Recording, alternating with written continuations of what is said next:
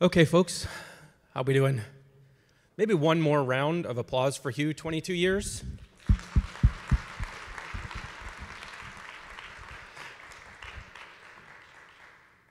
Awesome. Okay. Well, good morning. My name is Jeremy Eder. I'm a distinguished engineer and uh, chief AI ML strategist at Red Hat. Thanks for having me. My first time with you. Uh, today, I'm going to go through couple things uh, that are on my mind, Red Hat's mind, uh, as we try and sort of democratize the field of AI.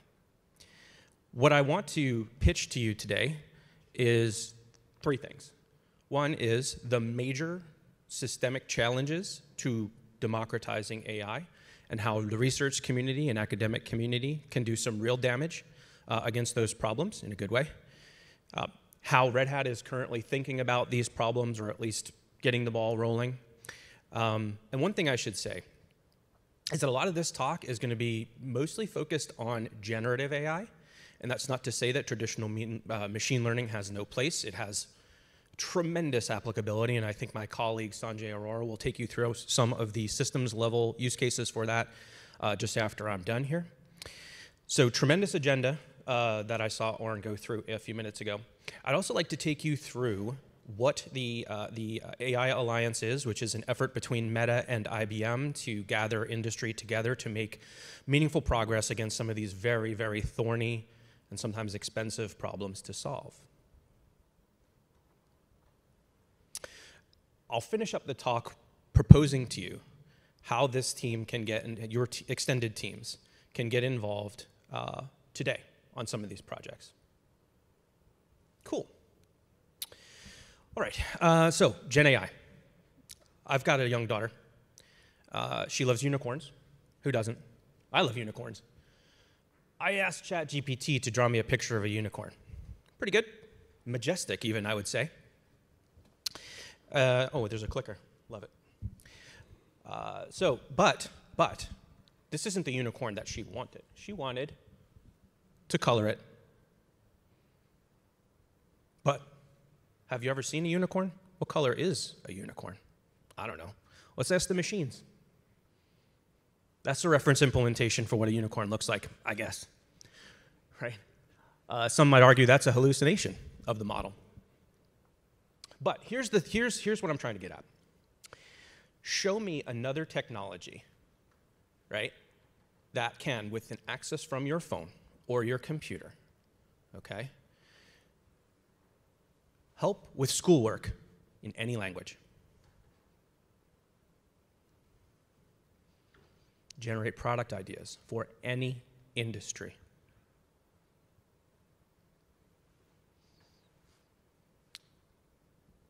Beyond text generation, we can also generate images. You probably already saw generating video from text a couple weeks ago from, uh, from OpenAI. Rapid prototyping of ideas. Couple that with 3D printing, and the, the engineering cycles are getting tighter and tighter and tighter. Traditional software development. IBM has a thing, we have a widget uh, called Watson Code Assistant. You might have heard of GitHub Copilot other similar implementations. The, the claims that traditional software development is on its way out, I believe, are over exaggerated. Um, I believe for code generation, assistance is the only thing that will happen in the short term, especially for system software, where it requires nuance and detail, and cost is a major factor. Um, not anytime soon, but largely can be assisted by the technology that exists today if anyone has another technology that, that has this level of uh, potential, we should be looking into that too. But this is where we're at like now. It's, it's a major, major step change in productivity for the human race. Personally, I think we should apply it towards, uh, as much as possible, towards good, AI for good. Um, the fact that we can do disease research and healthcare research and safety research and trust research in such tighter loops is going to help move the needle well beyond the IT and software development and AI technology practitioners to folks like my daughter who just want to color a unicorn. You may have heard Jensen say this on his recent uh, earnings call about in the last week. Uh, he might have some motives for it, but uh, you know he's he's pretty close. I think. I just tried to argue the case for him.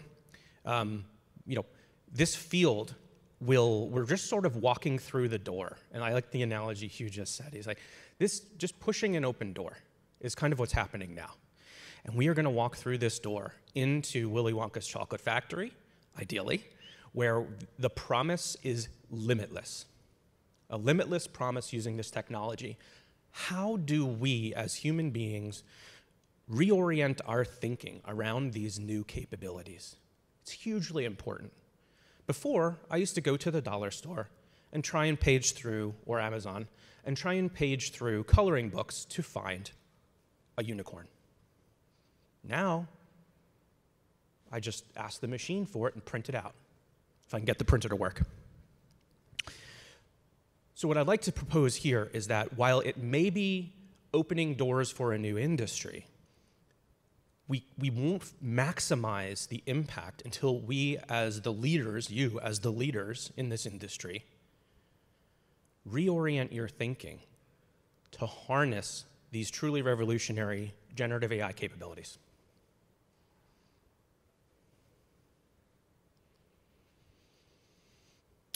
Red Hat's a for-profit company, subsidiary of IBM, for-profit company. So we do intend, I just want, I don't want to bury the lead here, we do intend to productize some of this stuff eventually. Um, you have OpenShift AI, as I understand, 400 students using it daily. Absolutely love that sort of thing. And I hope, it's, I hope you're successful using it and providing us feedback where there's sharp edges or we could do better. Absolutely love that, have to capture it. Red Hat's strategy isn't going to change for Gen AI necessarily. We're pushing an open source significantly. Um, we're sponsoring, you know, Kubeflow is a major component of OpenShift AI, and we're sponsoring Kubeflow Summit. We just got somebody elected to the steering committee. We've got dozens of committers over there, um, and uh, that's just one component of the whole stack. So we're going in and doing that is kind of like the table stakes product level stuff. There's also forward looking stuff that we're getting involved with, and VLLM is one of those things that we're looking into.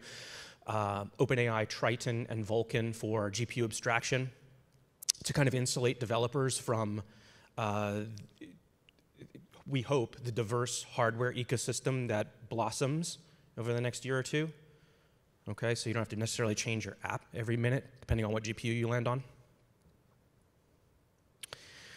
Let me get into some of the uh, challenges that, that we see.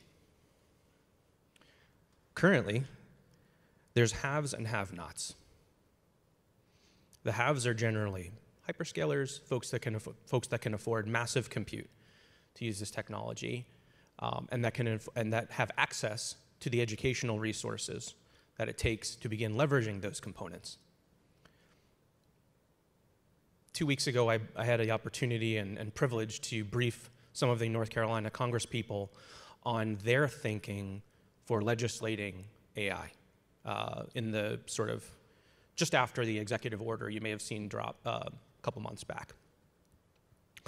And one of the folks that I met there was a Duke University professor, and his job was to push education down into high schools.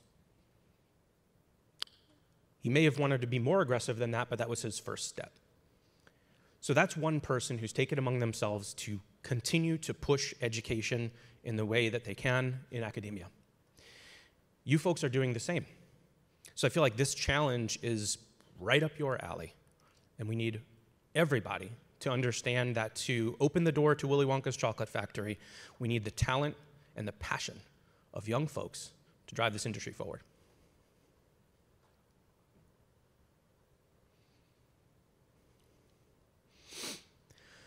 I started to think what is keeping people on the sidelines from participating in generative AI adoption? Quite honestly, what it comes down to a lot of is like there's ambiguity right now. It's a gold rush time. Licensing is ambiguous. What are the permissions and, uh, on the data? Was it sourced uh, permissively? You know, and when you when you release a model into production, can you trust its output? Is it going to return the name of your competitor? Maybe not ideal. Um, and most importantly, we don't let you know hate, abuse, profanity escape into these models. These are things that Red Hatters are currently uh, looking into industry wide. Um, this is a major point. A, I would call it a gap and a challenge. This is an area where I was mentioning Kubeflow as an upstream component of OpenShift AI. Um, Red Hat uh, Engineering has developed uh, a widget called Trusty AI, which is an open source project that attempts to implement some of these guardrails.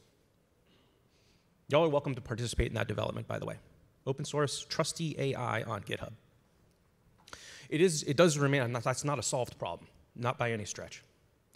Um, it needs work, and these are areas where uh, I feel like the whole industry will benefit if we get more and more people off the sidelines by, by solving these, these foundational kind of uh, first principles problems. Developer uh, participation. So we talked, I just talked about kind of the, the broader industry adoption. Let's talk about you folks and your extended teams. You know, if you ever watch uh, a model developer, their, their experience is, let's just say, suboptimal. um, and you know, compared to cloud native development, uh, DevOps, things that have had 10 plus years to bake, you know, we're just opening the door towards improving and uh, democratizing that experience and making, you know, removing some of the sharp edges. There's a ton of room, and I just, I'm just thinking about tooling here, like developer tooling, but there could be hardening that gets done in production around tools. And right now, access to those tools is tied up with the, I mentioned the haves and the have-nots earlier. Access to some of the world-leading tools are tied up in closed source. You can pay for it. You can have it right now with that comes some costs. With that comes some lock-in, um, and you know your ability to contribute is zero. So this is a major problem or major challenge for you folks to participate in as well. Uh, so I hope there's some of my colleagues from other hardware vendors here. I think maybe Intel, AMD folks might be in the room. Um,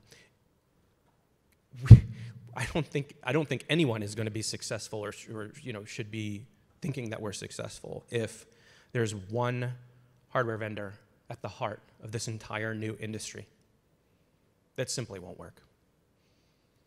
We saw what that did with Intel. Um, they had a massive lead, and then there was sort of over time some competition came in. Uh, we, we need to encourage that. And I understand that the MOC is working with those vendors and maybe others to potentially provide those types of hardwares to develop that type of hardware and software stacks to developers. That's tremendous. That's tremendous. If nothing else, access to this hardware right now is tough. It's tough. These cards are 10 grand a piece sometimes, right? List price, of course. Um, that's a lot of money for a kid learning to tie up for any period of time. So there's cost pressure, there's access, like can you even buy them kind of a thing. And whether or not we agree that one vendor is the solution for this space and fully democratizing it, I think that's what's up for debate. So, competition in this space is huge for users. Red Hat being kind of like a Switzerland company, uh, we've been working with AMD and Intel and NVIDIA and others to make sure that OpenShift AI provides equal access to that hardware regardless of the vendor. We want a first-class experience through OpenShift AI, plumbing the best of those hardware vendors' capabilities up to you.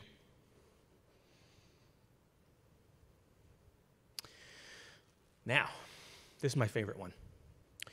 Uh, you may have seen an announcement just last week or the week before from the Allen Institute. They released a model finally with all of the data, weights, by, uh, uh, training data and the model itself under a permissive license. So that's the first. That's a good thing. We need more of that. And we're not going to get it from the folks who have already tied up the value, who are lobbying our uh, government to essentially create a firewall for themselves and basically establish themselves as a monopoly. That's not going to work. Um, our industry needs to get towards open models as a standard through which everyone can contribute. This is important work that needs doing, a significant challenge, and needs the brightest minds in academia to make a dent. Last one. I mentioned talking to the couple of Congress people a couple weeks back. I don't know if you folks are uh, involved in talking with those folks, but they need help. And I, I will give you my personal point of view here. I don't believe that legislating the technology is the right move. I believe legislating the application of the technology is the right move. For example, you wouldn't put an LLM to the flight control systems of an, air, of an airplane, at least not for a long time, right? But drawing coloring books for unicorns, fair game. So when we talk with our legislators, and IBM has been at uh, the World Economic Forum along with many other leaders and uh, in Davos, and I think we're doing a, an event today with Axios, uh, which is bringing together a lot of politicians uh, to try and prove the point that the technology itself is no really more you know, quote unquote dangerous than other innovations in the past. Significant challenge, a lot of ambiguity. Um, I'm forgetting the acronym, but there was a national, uh, was it NIST? There was a national group that put out a list of like 50 questions that the president and his team wanted answered around AI. Uh, these are the types of, this is where we're at when it comes to legislation. Like the policy frameworks in the EU are far more um, understood. In, in, uh, in the uh, North America, South America, far less legislation for us to lean on at the moment. And the idea here is not to throw the baby out with the bathwater, to make sure that we don't stifle innovation uh, due to basically a lack of understanding. So if you folks have the opportunity to talk with legislators, that's, the, that's sort of the, the mindset we want them to be in, is that the technology itself is broadly applicable and can be made safe while also not stifling um, innovation. Okay, so let me just try and round these things out. The AI Alliance is that, a way to uh, harness open innovation. We have about 85 members now, including the MOC, uh, and including Meta and IBM and many others. The idea for the AI Alliance is to bear down on the six challenges that I just shared with you across industry, and try and make meaningful progress urgently across all six of those domains. Some of them are more relevant, I think, to the MOC. Um, but uh, that's, that's the problem space, at least the initial problem space that the AI Alliance is working with. So I put, I put this little you are here icon because the key piece here is that we are bridging, the AI Alliance is bridging uh, academia and industry and bringing us all together in the same forum to tackle these really thorny shared problems.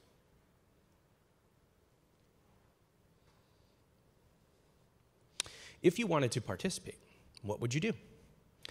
First, there has to be a strategy in place for how you engage. Uh, the AI Alliance holds meetings regularly across all of these work streams. They're, they're, this is announced in December and just kind of getting ratcheted up towards the end of January.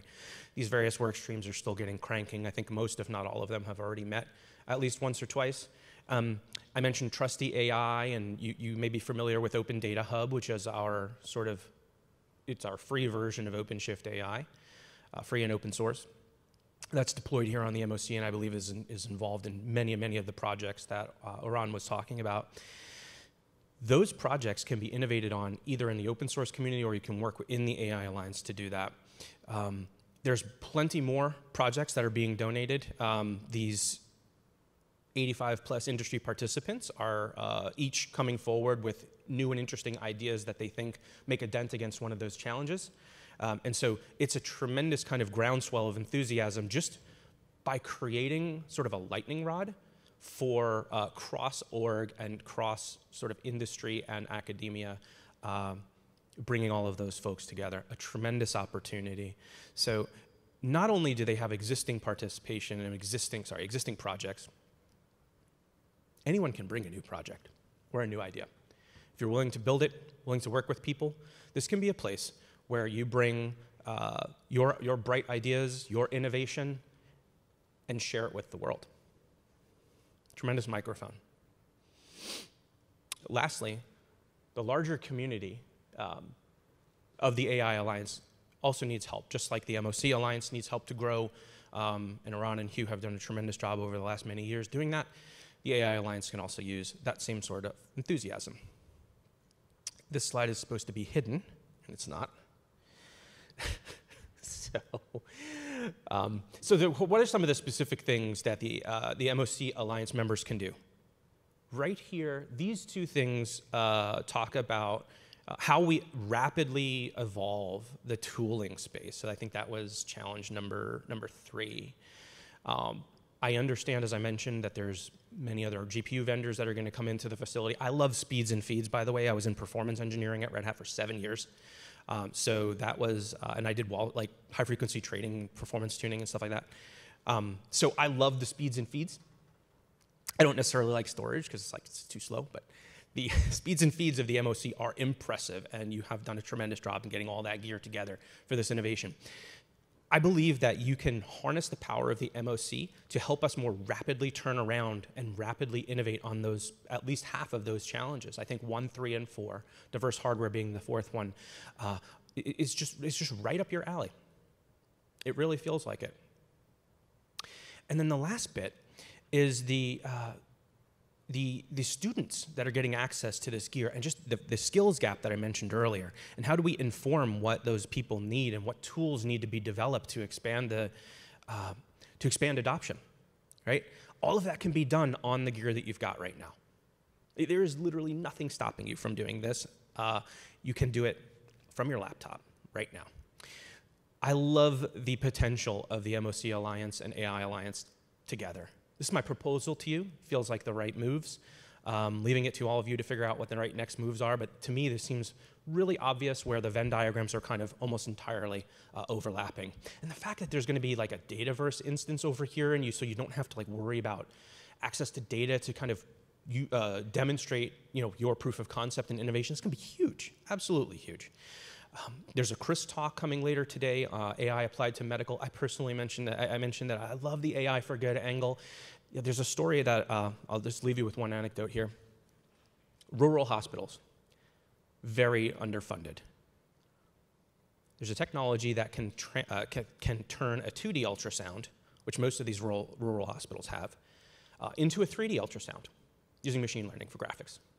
Huge benefit for those mothers who now have access to better uh, technology or better uh, uh, um, imaging technology than they would have otherwise had, and those hospitals don't have to outlay huge amounts of cash for those additional, uh, additional equipment. That's the type of stuff, it's like, it seems so simple, right? But it, it, it improves the lives of so many people through those efforts. It's just tremendously inspiring. Those types of innovations, I just, I get teary-eyed because I love to see humans helping humans. Okay, so Last thing before I tie off. Um, this is roughly how we innovate. So I mentioned all of those different communities. I mentioned uh, Kubeflow uh, and Trusty AI. There's so many more. Kserve is a really interesting one where VLLM support, I believe, got added to Kserve two weeks ago um, for inference serving. PyTorch, massive investment in PyTorch from IBM, hundreds of people working on PyTorch right now. Um, so that innovation if you work in the upstream or work in academia, whatever, it eventually bubbles into OpenShift AI on your systems in this, uh, sorry, Open Data Hub in this flow, and then ultimately into our product. That's how that works, in case you didn't know. I wanted to say thank you here. One last thing. Thank you to our audience. Thank you to our hosts here at Boston University. My first time here. Apparently, um, lots of stuff going on with OpenShift AI and Red Hat and AMOC and Boston University. Absolutely love the facility. Thank you so much for having uh, this conference here, and thank you so much for having me.